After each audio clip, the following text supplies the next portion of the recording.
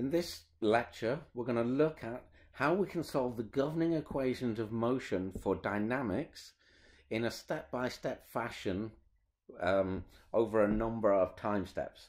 Okay, first of all, we need to introduce the governing equation. Um, there are more formal methods, but we're just going to, at this point, just state them. So, what we are going to do, first of all, and we're always going to work in a matrix format, so we're working with many degrees of freedom, not just a single degree of freedom has been introduced before. So in statics, we solve the equilibrium equation, stiffness times displacement equals force. We're now going to take that concept slightly further and just a, a, reminder, we're using the square brackets when we have a matrix and the curly brackets when we have a column vector. We're going to take that further. Now we still have our stiffness times displacement, but we're going to add to that inertial effect. So we can have mass times acceleration. Again, from Newton's second law, that has the units of force. We're going to consider, we're not going to touch on this in this topic very heavily, but we could always consider damping effects where the damping matrix C is proportional to the velocity. And finally, if we're talking about a dynamic problem now, the force vector itself is no longer just a force applied that's constant, although it could be. It's a force that can potentially be time varying. So we're saying that now the force vector is a is now a function of time. A couple of things to note then. So K is still the stiffness matrix and U is the displacement. Now mass, M is the mass matrix and U double dot. The dot above the letter is denotes that we have a differentiation with respect to time. So we have U du by dt, which we're also writing as u dot. It's a nice shorthand notation, but we can write it down. And we can also then write d2u by dt squared. And we can write that as double dot. So du by dt, the change in displacement with time, is the velocity. And d2u by dt squared is the acceleration. So velocity and acceleration. So, following on from the direct stiffness work for static equations, we know how we can assemble the stiffness matrix. And now what we need to look at is how the element mass matrices can be defined. So, in one dimension, so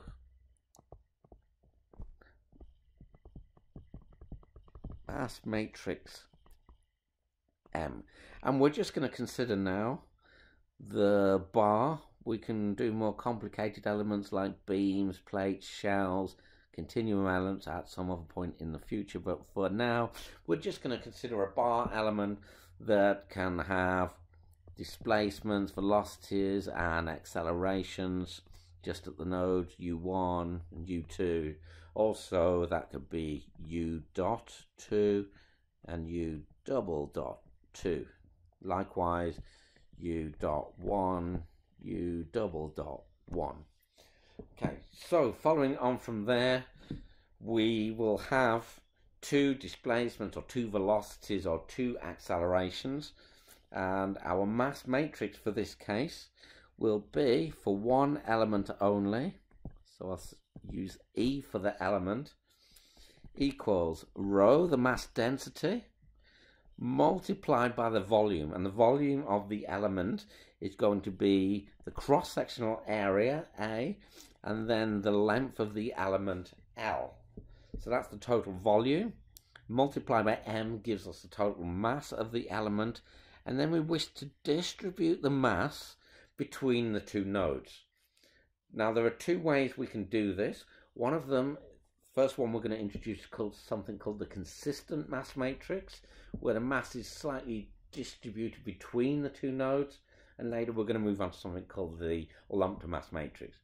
Now there's a formal derivation we can show in a later course using finite element shape functions, but for this course, all that we need to know is the mass is distributed between the two nodes as one third at the nearest node and one sixth at the furthest node. So for node 1, one third of the mass we consider at, at node 1 and one sixth of the mass at node 2. And in the opposite direction, again, one sixth of the mass at node 1 and one third of the mass at node 2. So, and then just so we can show that would be acting on u, the acceleration one, u double dot one, and the second row acts on the acceleration at the second node. Okay, if we add up the two components, one third and one sixth, so that's two, two six plus one six is three six. So the total mass acting on, for example, node one is one half. And this leads us to another scheme. So first of all, let's just write down the name of this one down. This is the consistent mass matrix. But knowing that we we essentially want half of the mass at one node, half of the mass, half of the mass at the other end of the beam or bar at the other node too. So we've got this can lead us to something that we're going to call the lumped mass matrix. So let's call that C for consistent. And now we're going to rewrite this element mass matrix and lumped. We write it still with the same rho times A times L and still acting on acceleration 1 and acceleration 2. But we're going to choose, so let's just say half of the mass is at node 1, none of the mass considered at node 2, and for node 2 we do exactly the same, but half of the mass is directly just lumped, hence the name, at the nodes themselves. So this was if we had a mass matrix that was in a 1D element, but obviously as we've seen in the work on direct stiffness, we could have a bar element that is at some general angle alpha to the axes. And so we're going to end up then with four components of displacement, four components of acceleration, and if necessary, four components of velocity. So we would end up with, and let's call that node 1, that one node 2, could easily be node 6 million and node 25 but we'll use 1 and 2, it's easier. So that would be u1x, and let's go, let's call them the accelerations. Let's, and let's u acceleration at node 1 in the y direction. Then we have acceleration at node 2 in the x direction and the acceleration at node 2 in the y direction. So we have four potential components of acceleration. So we then need to set up an element mass matrix that's usable in two dimensions. And we're just going to state them here. So for the consistent mass scheme, our element mass matrix is equal still the rho times the area times the length and then we're going to have four components in the mass matrix and it's going to be still the third one sixth and one sixth and one third.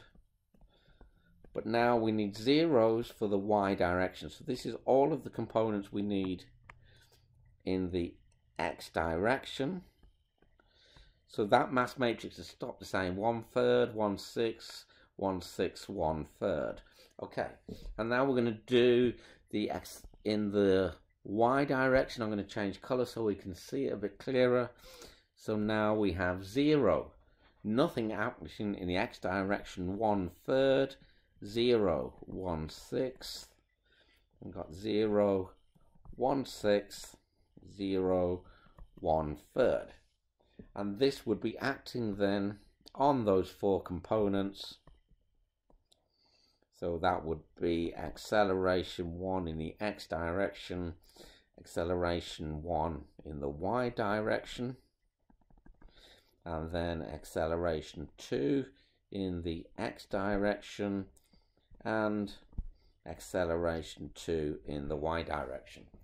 Okay, one thing that can be slightly confusing with this scheme, if you were to add up all of the coefficients in this mass matrix, you would actually have twice the mass of the structure, which can seem a little bit confusing at first. What this is, is we count the couples in the equations in the x directions are decoupled from the y direction, so it can seem like we've got twice the mass. However, we have half of the mass, or the full mass, can act in the x direction, and the full mass can also act in the y direction, so it can create inertial forces or inertia in both directions. Okay, so that was the consistent mass. And we're going to follow up now with a lump mass scheme. And in a similar way, we end up with twice the mass of the entire system. And we're also going to lump all the mass directly at the nodes. So we still have rho AL. We're still going to have four components in here. But because the mass is, is considered to be only at the node, what we have is a half, a half, a half, and a half. Everywhere else is zeros just on the diagonals. And we'll see later that having the mass just on the diagonals can actually be very useful for computational efficiency.